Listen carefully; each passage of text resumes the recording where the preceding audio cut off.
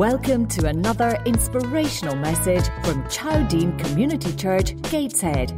For more information about Chowdene, visit www.chowdene.org.uk. We hope you enjoy the podcast.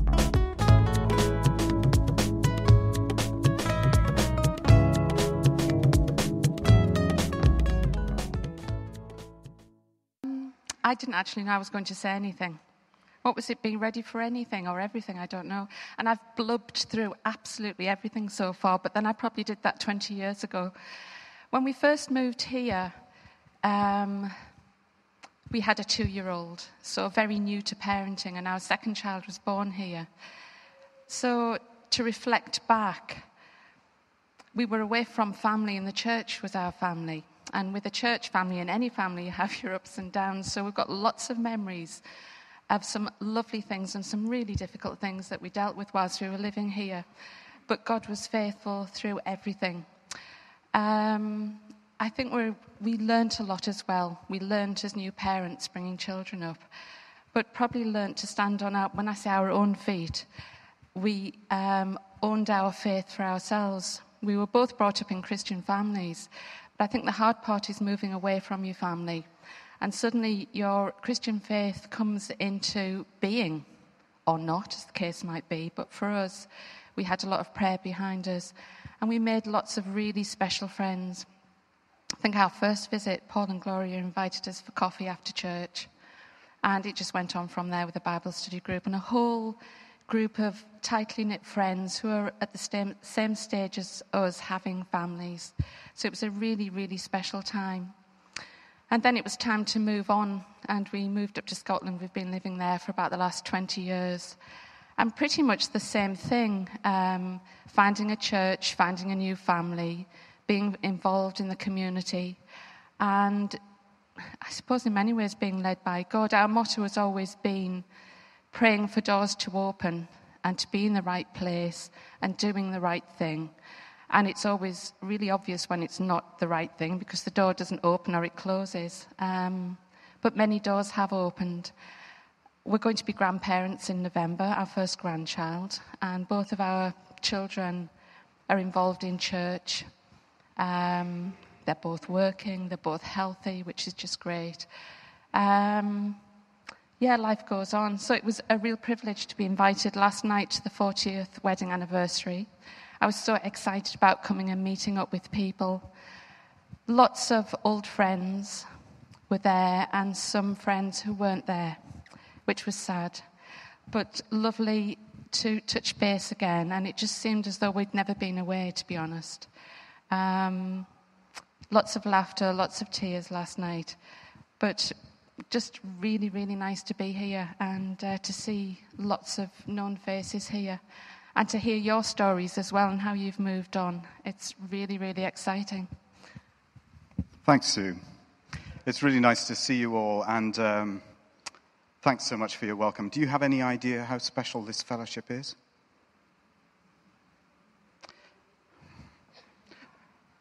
We had to leave. but we didn't really know how special it was till after we left. So, what Sue has said from her heart, I just want to tell you a few things, just to put that into context, if that's okay. But I want to remember a couple of things. I mean, Chowdene is full of humor, right? There isn't a church that I know of. And I want to just recall a story, and I'm, I'm going to just be a bit close to the edge here. But Derek, where are you? He's gone. So he, that's all right. I can tell the story then. That's fine. Because many of you might remember that Chowdene had an electric organ. Do you remember that? And he got up one morning to speak to the kids. And he said, Children, do you see this? Uh, you, see, you see those organ pipes there? He said, They're false. He said, But when I was a kid, I used to get paid 10p to go and make wind behind those, make wind behind the organ. And for the song we're about to sing, I had to pump and pump and pump and pump. Derek didn't see it at all, but we were under the chair. And that's just a little bit of an illustration of the sorts of things that used to go on in Chowdene. What a fantastic place to be. And memories of Cling filming um, Trevor to a lamppost. And Anne came along to try and rescue him, so she got cling film to Trevor. As, uh, and then we had, of course, um, the police came up saying, What's going on? They posed for a photograph that ended up in the local paper. And uh, when we went to Trevor Nann's wedding, they arranged for a mock IRA ambush for those of us who went in the minibus. And we still tell the story. In fact, I was telling that story to some people just a couple of days ago. I've lost my uh, iPad here. I'm going to just tell you a few things that I think you might find interesting. So it's 20 years ago this, this month since I left to go to Scotland for a job. And there was a tiny little advert in our professional newspaper. And for some reason, it hit me here. Do you know that? So I told my dad about it, and he said, Well, pray about it, push the door, and see what happens. So guess what? I got the job. And we ended up knowing that after nine years here, it was time to leave. In that time, we'd had nine episodes of burglary or car theft. So we'd lived through some stuff while we were here. And we ended up going to Scotland. We thought, wow, this is it. But then it took us nine months to sell the house. We had a house all lined up, and that fell through. And then another house came on the market just as the other one fell through, and it was in a place called Mavis Bank, which means song thrush for those of you who don't come from Scotland. And Sue had been really keen that we were in the right spot. So we were unpacking as we moved in. And I'd been to Jamaica teaching some orthopedic medicine over there, and we unpacked a Hessian bag, round some coffee from the Blue Mountains, which Ter- Trevor, um, Terry, where are you? There you are, Terry. Best coffee is Blue Mountain coffee, okay? Okay, that's fine. And yeah, it can be, it can be, I believe. But on the bag, the Hessian bag, it said Mavis Bank, 100%. We arrived having been in America on holiday, and James was really ill. He went to Dundee to be diagnosed having had only 7% of his kidney left. And for eight, well, how old was it? He was six, wasn't he? For about five years, we've been going backwards and forwards to the GP in Low Fell and just said he doesn't want to go to school. But only 7% of his kidney was left. And guess what? The guy who pioneered keyhole surgery for the kidney was there to deal with us. So, those are just two stories of many we could tell. But we have walked hand in hand with God over these last 20 years. So, some of you don't know us at all. Um, and I just want to go to another story, which is that the pews, do you remember the pews being taken out of Chowdene? Our old house is up for sale at the moment. So we had a look on the website last night, and guess what? The pew's still in the hall. And we took the front pew, we took the bench parts of the front, front pew with us to Scotland because they're just gorgeous, lovely wood. And that wood was made into a cross that hangs at the front of the Link Church in Dunfermline. It's been made into a beautiful Celtic cross. And that was the bench upon which many souls came to know the Lord. What a story, eh? James is 30 now, and he lives in Aberdeen with his wife, Jennifer.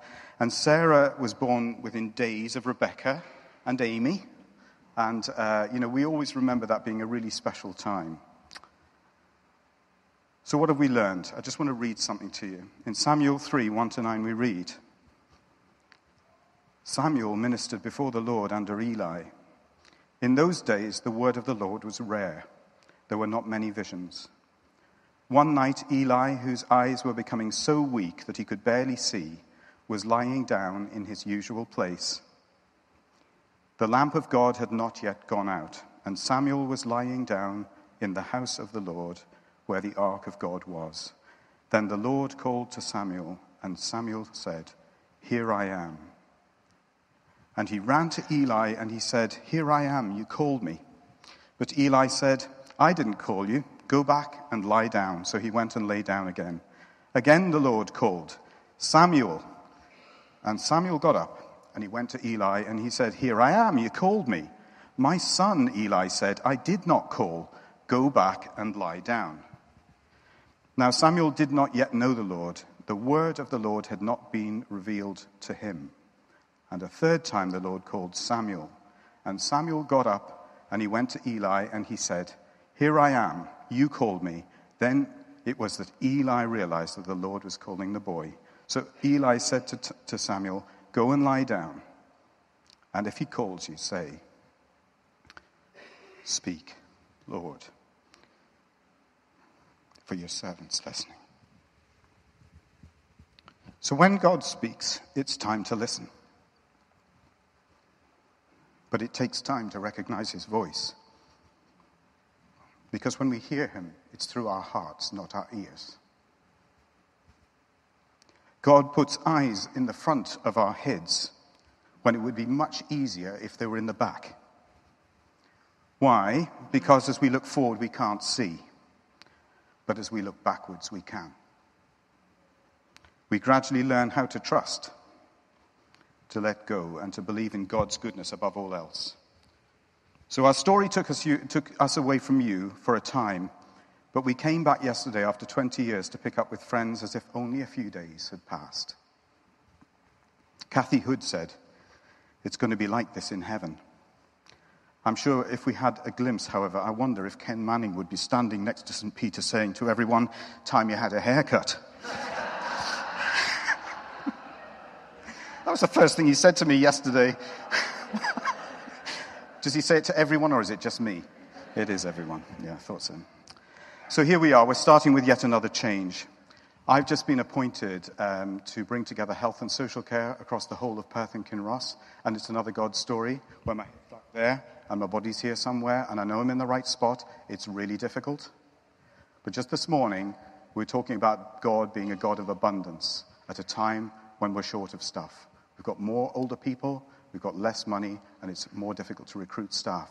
God's taking us into the middle of that. So, may, many of you might remember uh, David Jenkins. Do you remember David Jenkins, academic and controversial Bishop of Durham?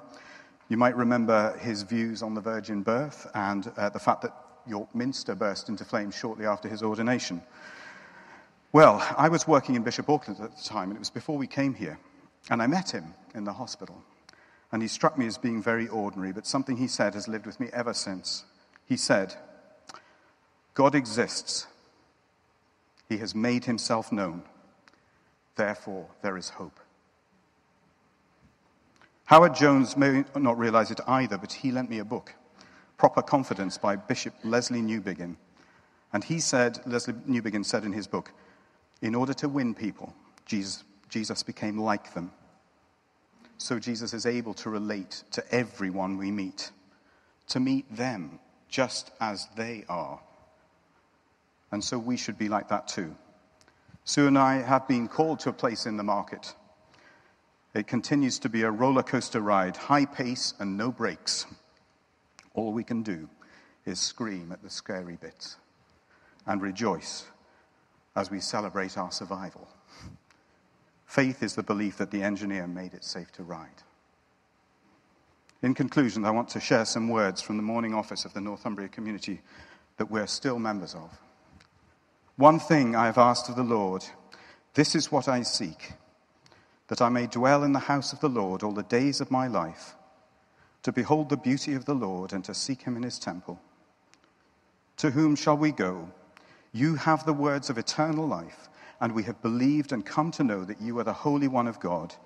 Praise to you, Lord Jesus Christ, King of endless glory. See that you be at peace and love one another Follow the example of good men of old, and God will comfort you and keep you, both in this world and in the world that is to come. In the name of the Father, the Son, and the Holy Spirit. Amen.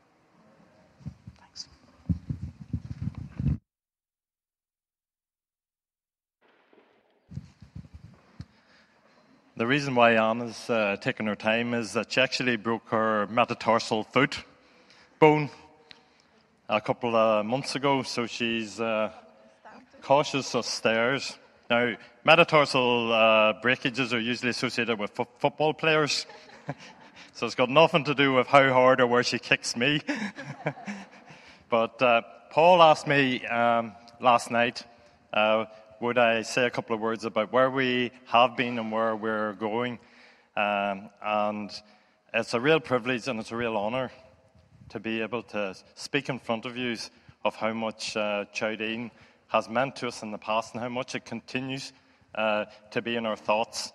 To a point that when we heard about uh, Paul and Gloria's uh, Ruby wedding uh, party last night, we said that not only would we stay to go to that, but in the morning uh, we would use it as an opportunity to catch up with yourselves. And uh, here we are. So, where does it all start? Well, I think underpinning all of this is a, is a verse in Psalm 130, verse 1. And it's a verse that I don't really have to say to you because my four boys sung it to you. And it says, Bless the Lord, O my soul, and all that is within me, bless his holy name. Bless the Lord. We have so much to bless the Lord for. Uh, about 25 years as a graduate manufacturing engineer. I'd finished my course and I was about to start work. Now, with an accent like this, you would think that I'd probably start work in Northern Ireland or Harland and Wolff or Shorts or somewhere like that. But no, I was starting work in the northeast of England. And when I started work in the northeast of England, and when I, I graduated in the northeast of England, I found myself in Chowdene. And that finding myself in Chowdene wasn't an accident, because within this fellowship, we were given the opportunity to do things, the opportunity to let God use us in ways that God would bless us. So, blessing the Lord doesn't come just that we physically say thank you to God, because as we open ourselves and as we do things to God, God actually blesses us. And it's not been a self centered existence, it's been a God centered existence because when we give to God that effort, that energy, God will bless us and He has blessed us. So during that initial time, uh, we started getting involved in Kids Club. We were involved in uh, Bible studies. And uh, it sounds a lot of work while you're doing a, a full time job. But one advantage that we had was that we didn't have any kids. Now, initially, I didn't even have a wife. but then uh, Anne came over and uh, we carried on going out. And uh, we got married. And some of the escapades you heard about in terms of cling film and uh, uh, honeymoon and uh, buckets of water over Paul. but uh, it was all part of what God uh, was doing as a family here. And I want you to re- realize again how important it is to have that family. Because God's family just extends. There's a verse in Jeremiah that talks about when we belong to God and when we're God's people, God has a plan. And He's got a plan to do what? To give us a hope and a future. And hope has been mentioned quite a few times this morning. And that hope is something that is not out these walls. It's a hope in God that lasts forever. And part of that forever is actually the future. The future, as our pastor at the minute says, is glory. And when we grasp what our future is, what that glory is, then everything else goes into perspective. And that's a really, really exciting thing as a Christian to, to grasp hold of and to move. So, over the seven years that we were part of Chowdene family, we grew, we developed, we did things that uh, uh, were probably not right at the time, but they're part of growing up and developing character. And when you're given the opportunity to develop your character, you'll make mistakes, but you'll also learn. And as we moved back to Northern Ireland. Uh, we went back as a husband and wife, stronger and more committed to what God would do to us and through us.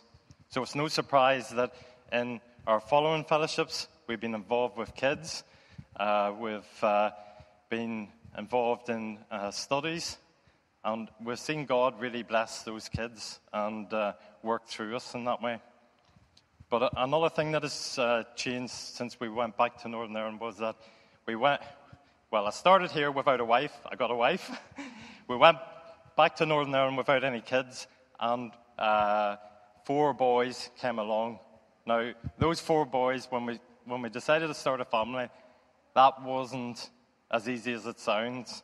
And there can be trials and there can be difficulties that you don't realize are there. But again, God has a plan. And that plan is hope and it's future. And through having the boys, He showed us the hope that we have and He's shown us the future. And bringing up boys is different than being involved in kids' clubs. Because when you're involved with kids' clubs, come 8, 9 o'clock in the evening, you can leave them to somebody else. It's a bit like when I was babysitting for Paul and Gloria. You could wind the boys up as high as you want, but at half 10 you left. and it was their problem to get them to sleep. So you now have kids that you're, that, that your own responsibility for. And again, you look at the Bible, and what the Bible says in Deuteronomy is that it's a parent's, it's a father's responsibility to instruct your family in the way that it's to be brought up. The Bible says that we're to talk through how God blesses you, how God directs you, how God shows you the future. With your kids, you don't leave it until they're 13, 14, 15 and you think that they can understand. Because even at two, three, they have an understanding that is simplistic, but it's simplistic to a point that it makes it easier to explain how God can do amazing things through His power and through His Spirit. So, with the four boys, God has blessed the time that you put into them is shown by how they see God and how they relate to God. And bless the Lord, O my soul. That er song that they sung, in their simplicity, in the, I'm not going to make a fortune being their band manager. they're, not, they're not going to be the next big boy band from Ireland. But they have a simplicity and a trust there that shows that in singing, Bless the Lord, O my soul, that they're wanting to bless the Lord. And it's up to us to give an opportunity for kids to really demonstrate what God is doing to them and through them so that when they grow older, they realize that God is alive and God wants to be involved in their lives. Now, over the, that's from a family point of view. What has happened to us over the last couple of years from a, a family situation, I'll let Anne explain how we've uh, had our difficulties in terms of her dad dying, and then a whole generation of his family passing away over the last year and a half. So there is difficulty. It, it isn't that God protects you in a bubble wrap and you can busy pop away and enjoy yourself with the bubbles and everything else uh, just avoids you.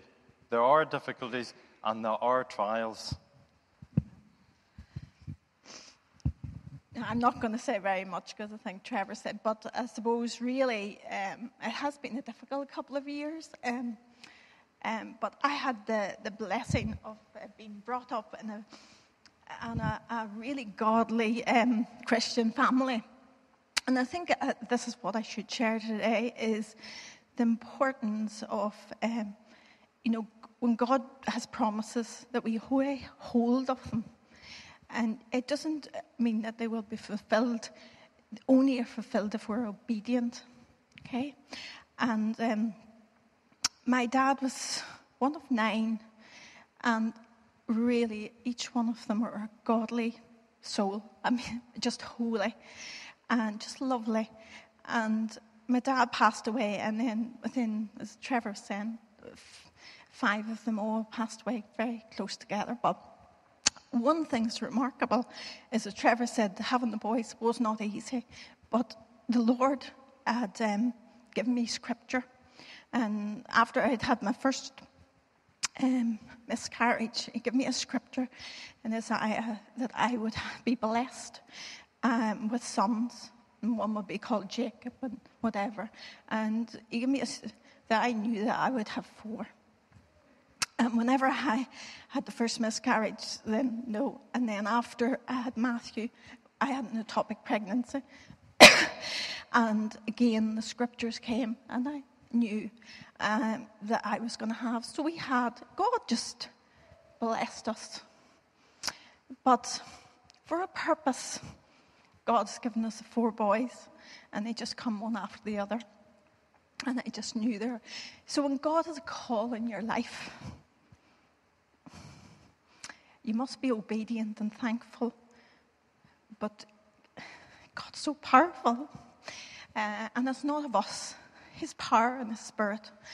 is all about that. Can, anything can happen. And I think we're in a generation now that um, don't know God. It's not been taught by the grannies and grandas because really we've missed a generation. And we need God's Spirit and His power like never before. And uh, I believe that we've been set in a place uh, in Ballymena. And there's a group of us, uh, we've just a new church. And it's not Ballymena needs any more churches because we searched our hearts. But God called us out of Elim Church. And we very much have spent the last year just seeking after God, praying for the power of His Spirit to move in our country, in our city, but we believe it's going to be global. And we just are praying that the churches will just be set alight for God and His Spirit would move in His people first of all, and that they would just uh, move out for God uh, because uh, we need to see, people need to see God's power. They need to see healings. They need to see, they just need to see God's power. Uh, and it's humbling to believe. It is humbling, but that starts just, just looking after God's presence. And as we have God's presence in our lives, that's just going to spill over. And that is just my prayer that each one of us, each one of us, just are filled with God's presence. Because you know what? That's, that's what He's chosen to use at this point in history us to carry His presence. God bless. Thanks.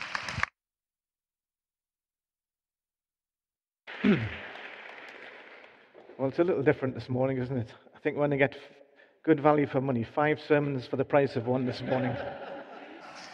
But I think God is speaking to us as a church. He's reminding us, you know, what we've achieved in the past. But I think He's challenging us for the future. we'll get on. Heavenly Father, we just thank you for all that we've heard this morning.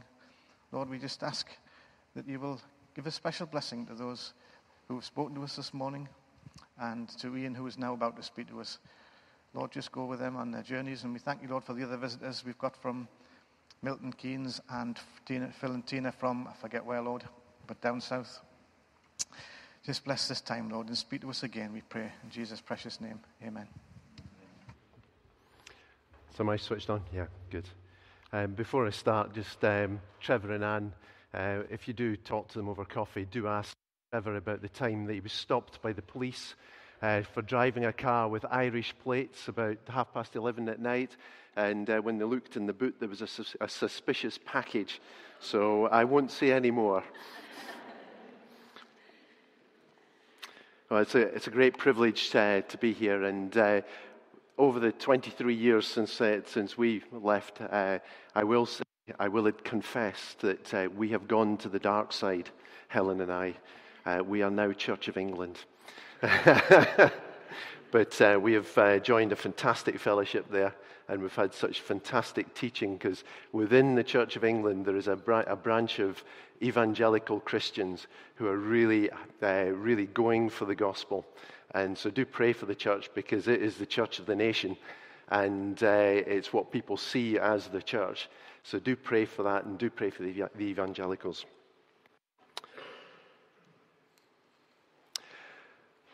Life is short. Have an affair. This is the strapline for the Ashley Madison website.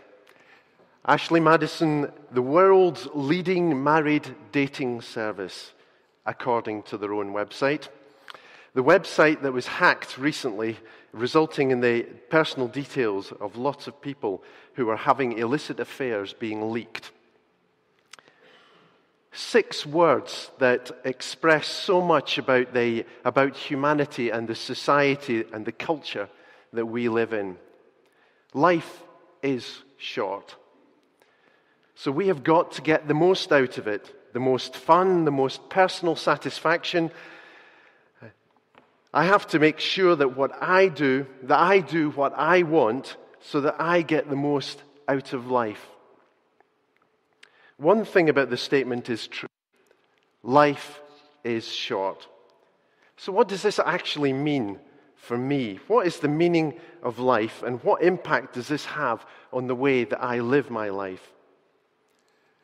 2,000 years ago, Thessalonica was a bustling seaport at the head of the Thermaic Gulf in Macedonia in the north of Greece.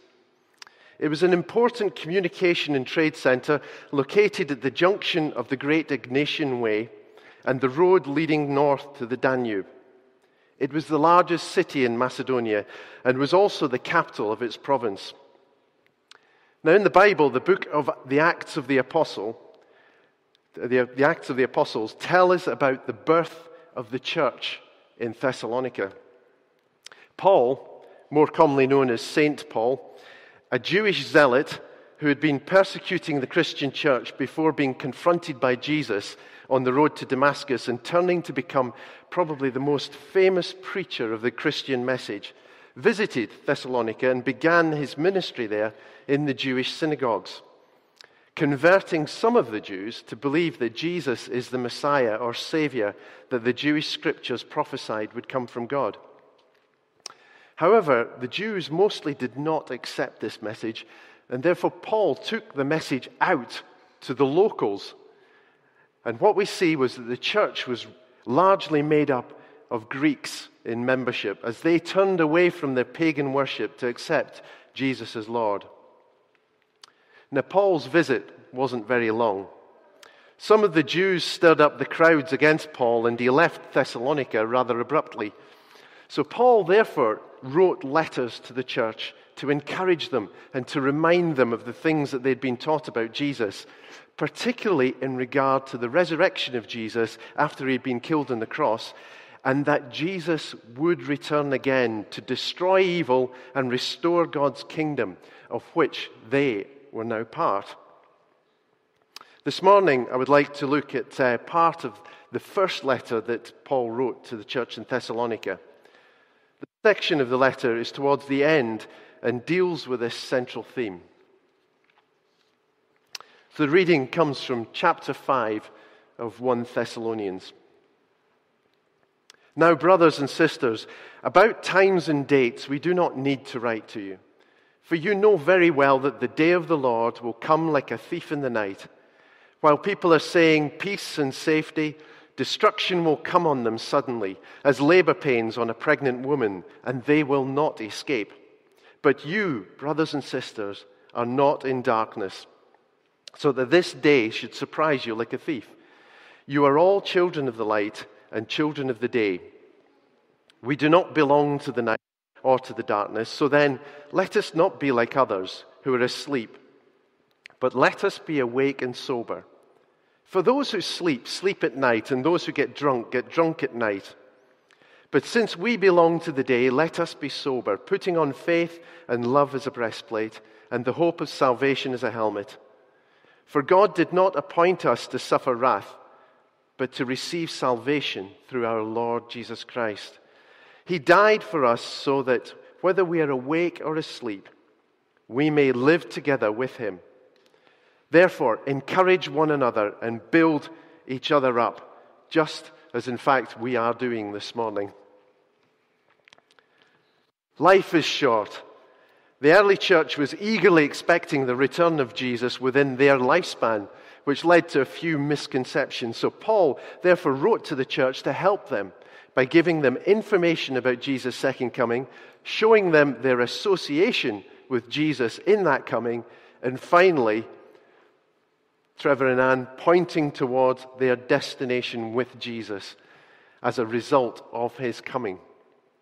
It is a great letter of encouragement to the early church and to us in keeping our eyes fixed on the future and what that means in our short lives. Now, the reason Helen and I are here in Gateshead this morning is because we received a card through the post with an, invi- an invitation to a very special event. The card was very typical in that it was laid out neatly, telling us what it is an invitation to a party, where it will happen St. Luke's Church, Newcastle. Why? To celebrate Paul and Gloria's 40 years of marriage. And by the way, it's today, so congratulations, Paul and Gloria. And who is invited? Helen and Ian. It also provided another and very important piece of information. When? Yesterday, Saturday, 19th of September. Now, every Christmas, Helen and I hold a party for a large group of our neighbours and friends. And every year, we prepare invitations. These invitations hold the same form of information. But the piece that Helen and I put the most effort into, the one piece we spend a lot of time in preparation, is deciding when. When is the best time to have the party? What date? What time? Paul reminds the Christians in Thessalonica that they know what is going to happen. Jesus will return. They know why it will happen. Because God will bring his justice, dealing with sin once and for all, putting an end to evil. They know where every eye will see, which means that the whole world is part of this great event. And they know who's invited. But the question is, when will it happen? One thing they know for certain is that they don't know. Even Jesus, when he was asked by the, the, disciples about the end times, declared that he did not know the time. The disciple Matthew, in his witness account, tells us the words Jesus spoke.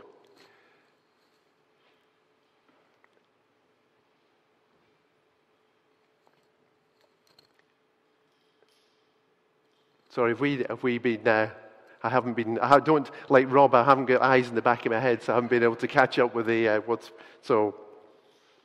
So Matthew wrote, but about that day or hour, no one knows, not even the angels in heaven, nor the Son, but only the Father. Jesus knew he did not know, even though he is the Son of God. But he is teaching us to trust in God's authority. What a contrast between this admission and, the, and that of the world in which we live. We revere the knowledge and wisdom of men such as Brian Cox. Now, Cox tells us that the universe began 13.7 billion, 75, sorry, got to get the decimal point in there, 13.75 billion years ago with the Big Bang. He tells us that our sun was formed 4.57 billion years ago and is in the middle of its life, fusing hydrogen into helium at a rate of around 600 million tons every second. It will continue to do this for another 5 billion years. As the stores of hydrogen run dry, the sun's core will collapse, and momentarily, as helium begins to fuse into oxygen and carbon, a last release of energy will cause its outer layers to expand the fiery surface of our star will move beyond Mercury towards Venus and onwards to our fragile world. The world thinks it knows when the world will come to an end. We know that it's about five billion years. So actually, that makes it okay to continue living the way we are. Live for today. No problem. But Jesus is pointing us to the fact that God is not going to let that happen. He cannot and will not allow evil to go unpunished. He is planning now and he knows when. If we go back to the passage, Now, brothers and sisters, about times and dates we do not need to write to you, for you know very well that the day of the Lord will come like a thief in the night. While people are saying peace and safety, destruction will come on them suddenly, as labor pains on a pregnant woman, and they will not escape. And Paul goes on, But you, brothers and sisters, are not in darkness, so that this day should surprise you like a thief. You are all children of the light and children of the day. There's a well worn story that has been passed around the ages about a debate between an atheist professor and a young God fearing student about the existing, existence of God. It goes along the lines of the professor says, If God created everything, then God created evil, since evil exists. And according to the principle that our works define who we are, then God is evil. The professor boasted to his students that he had proven once more that the Christian faith was a myth. A student raises his hands and says, Can I ask you a question, Professor? Of course, replied the professor. The student stood up and asked, Professor, does cold exist? What quite, kind of a question of, what kind of a question is this? Of course it exists. Have you never been cold? The young man replied, In fact, cold does not exist. According to the laws of physics, what we consider cold is in, in reality the absence of heat. Every body or object is susceptible to study when it has or transmits energy. And heat is what uh, makes a body or matter have or transmit energy. At absolute zero, minus 273 degrees Celsius, is the abs- total absence of heat. All matter becomes inert and incapable of reaction at that temperature. Cold does not exist. We have created this word to describe how we, ha- how we feel when we have no heat. The student continues, Professor, does darkness exist?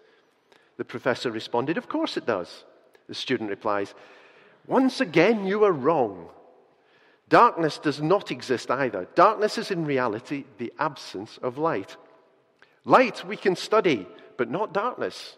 In fact, we can use Newton's prism to break white light into many colors and study the various wavelengths of each color.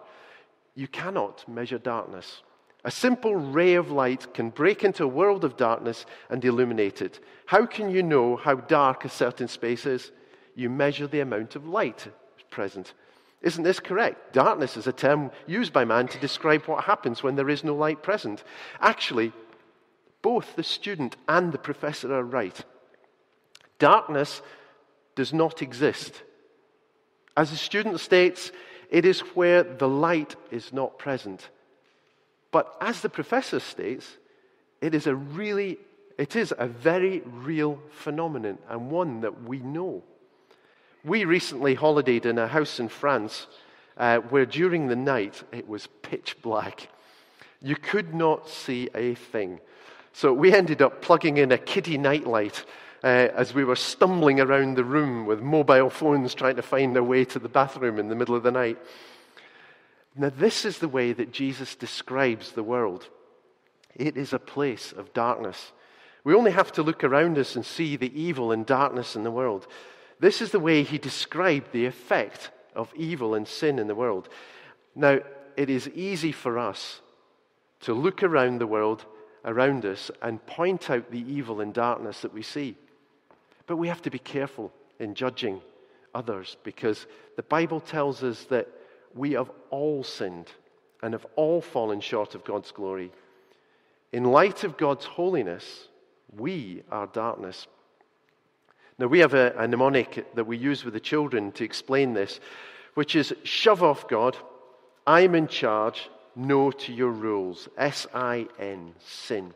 When we leave God out of our lives, we refuse to live in a way that honors and glorifies Him, then we are sinful. Then Jesus, Jesus said, Love the Lord your God with all your heart and all your soul and all your mind. And the second is this is like it, love your neighbor as yourself. All the law and the prophets hang on these two commandments. Anything that we do that goes against this, all of the selfish behaviors that we are so guilty of, are sin, and this separates us from God and puts us in darkness. Jesus also tells us that because of our sin, God will judge the world. We will face the consequences of our sin. But the good news is that because God so loved the world, he has not been content to sit back and allow that to happen, but has provided a solution to the problem by taking on the punishment himself through Jesus Christ. By believing in him, he provides forgiveness. Not because he's such a nice chap, because he has taken the punishment that was ours under God's judgment. And when we accept that he has done so and come to him, he forgives us. Coming to church or associating with Christian people is not the answer. It is only when we make that personal commitment that we are His. And in so doing, He brings His light into our lives, and we become, as the Christians in Thessalonica were, children of light. Light is a wonderful thing because it shows us how things really are. So, have you ever been into a nightclub during the day? I remember being at Spring Harvest one year at, uh, at Butlins in Skegness. In fact, I think um, Paul's son Jonathan was, was on the sound desk that night. And uh, we went uh, to an evening concert where the venue seemed really good. It was of lots of loud music and lights. It was great. We had a great evening. But the next day, we went back to the same venue for a talk. And seeing the venue in the light of day was an altogether different experience. The walls were grubby from years of wear and tear, and the carpets were shabby and beer stained. The light illuminates. It helps us to see things for what they really are. So when we accept Jesus as our Savior and He brings His light into our lives, He starts to show us how sinful we are and reveals to us just how holy God is. But if we have turned to God by accepting His gift of salvation, rescue from the coming judgment, Christ's return should not take us by, by surprise. But for those who continue to live their lives in isolation from God, it will come as a surprise. It will happen like a thief in the night. It will come when they least expect it. We may think that we may be lucky, the thief won't come. So, Paul emphasizes the gravity of the reality of this by using another metaphor the pregnant woman. When a woman is pregnant, she knows labor pains will come. The question is not whether or not it will happen, but is, is she ready? She must be, she must be delivered of the child. There is no going back. In the same way, Jesus will return. So, Paul then takes his readers into an explanation of the association that these Christians in Thessalonica have with Jesus when he returns. So, back to the passage in verse 5 We do not belong to the night or to the darkness. So then, let us not be like others who are asleep, but let us be awake and sober. For those who sleep, sleep at night, and those who get drunk, get drunk at night. But since we belong to the day, let us be sober, putting on faith and love as a breastplate, and the hope of salvation as a helmet. Having received the light of, Christ, of Jesus, if you're a Christian, tells us that we do not belong to the darkness. We are no longer bound to the darkness of this world and the sin that prevails. We have a new ownership. We are under new management. We belong to Christ. We belong to the day. This then should affect the way that we behave. Paul is trying to encourage these new Christians to allow the future to shape the present. And we need to be encouraged and daily encouraging one another to do likewise. Now, Paul uses these two examples to guide us in how we should be or how we should not be. We are not to be asleep or drunk. Now, what is the similarity between these two states? In both conditions, we are unconscious of what is going on around us. Hitting the bottle is often triggered by a desire to forget it is a form of escapism from reality. But getting drunk is a very present focused activity as it provides escape from what is now. But sobriety is a tomorrow focused activity. It is being prepared for what is to come. In sleep, we are dead to the world. Every morning I get up before Helen does, and I sneak into the bathroom next to our room. But when I get in there, I switch on the light, which starts a very noisy fan. Then I usually switch the shower on, and yes, contrary to popular belief, I do wash, um, which is a, a, power shower attached to the wall between the, be- the bathroom and the bedroom, and it makes a pretty racket. But so many times, can, Helen will tell me that evening that she didn't even hear me go in the morning. She can sleep through anything. So much is said about those who slumber, missing what is going on about them. If you are, and uh, Trevor and Anne, you've got this to come. If you are or have been the parent of a teenager, I'm sure that you are familiar with the lack of action that when of things that need to be done because your offspring is asleep. And how often do we find that they waste the whole day by sleeping? The day is a time for action. It is a time for getting things done to prepare for the future. So back to verse 8. But since we belong to the day, let us be sober, putting on faith and love as a breastplate, and the hope of salvation as a helmet. Paul frequently uses metaphors of battle and sporting events to uh, sporting achievement to describe the life of a Christian uh, while we live this life on earth. Paul encouraged the church at the start of his letter in uh, chapter 1, verse 3. We remember before our God and Father your work produced by faith, your labor prompted by love, and your endurance inspired by hope in our Lord Jesus Christ. Their faith is seen in the work and the labor of love and endurance. It is not a passive acceptance of Jesus as Savior, but it's an active one. We should be actively waiting for Christ's return. Be sober, not befuddled, not confused, but with clear minds, awake and alert, not sleeping. It is inappropriate for children of the day to behave as children of the night. In the witness account of Luke in the Bible, he recounts the birth of John the Baptist, a prophet who prepared the way for Jesus to come. When John was born, his father Zechariah sang a song. And you, my child, will be called a prophet of the Most High, for you will go on before the Lord to prepare the way for him. And then down to verse 79 to shine on those living in darkness and in the shadow of death, to guide our feet into the path of peace. Whilst John was a special case in that he was actually preparing the way for the physical Jesus, the song equally applies to us if we belong to Jesus. We bring his light into the world so that we might guide the people's feet into the path of peace. Matthew records for us Jesus' words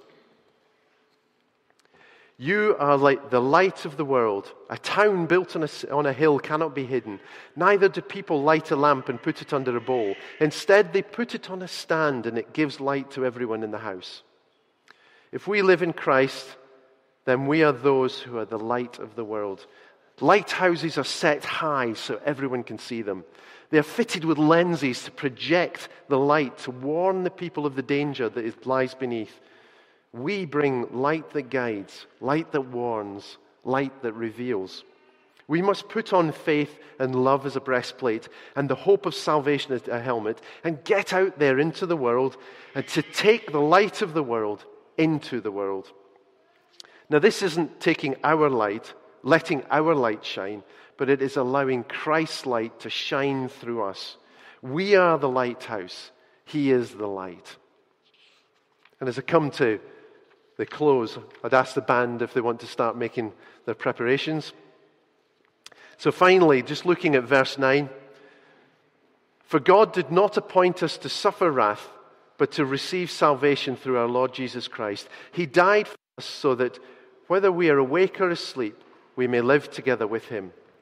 Paul is directing the Thessalonian church to their destination. The whole purpose of Jesus' death, resurrection, and return is that we might live together with him forever. The whole of God's plan is that man will live in harmony and perfection with God. This has been the plan from the start, But sin and man's rebellion, his selfishness and arrogance has got in the way and caused a rift between God and man. For this, the natural outcome is that God will mete out his justice. But Paul reminds the church you have seen the light. You have turned away from your sinful lives and turned to Jesus, seeking his forgiveness. In so doing, they are assured that their final destiny is not one of wrath and destruction, but acceptance into God's family to be with him forever. Whether we are awake or asleep, is largely understood to refer to those Christians who have died before Christ returns. This was a worry to the church, the early church, because they were expecting Jesus to return in their lifetime. So what happens if he comes if they die before he comes back? Paul is reassuring them that those who are still alive when Jesus returns and those who have died believing will all be restored into God's people to live with him under his rule and authority. At the end of the previous chapter, just before the passage we have looked at this morning, Paul wrote the following words For the Lord himself will come down from heaven with a loud command, uh, with the voice of the archangel, and with the trumpet call of God, and the dead in Christ will rise first. After that, we who are still alive and are left will be caught up together with them in the clouds to meet the Lord in the air. And so we will be with the Lord forever. Therefore, as we have, we've had this morning, encourage one another with these words. Believe in the Lord Jesus Christ, turn away from your sins, seek his forgiveness, and this will be your destiny too.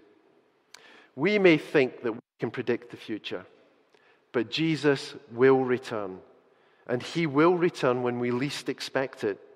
So we need to be ready. If we are his, we are His light in the world, and we need to be letting that light shine to guide, to warn, and to illuminate. If we are His, we have a wonderful and glorious future. Therefore, let's allow the future to guide the present and live in preparation for that day. Amen.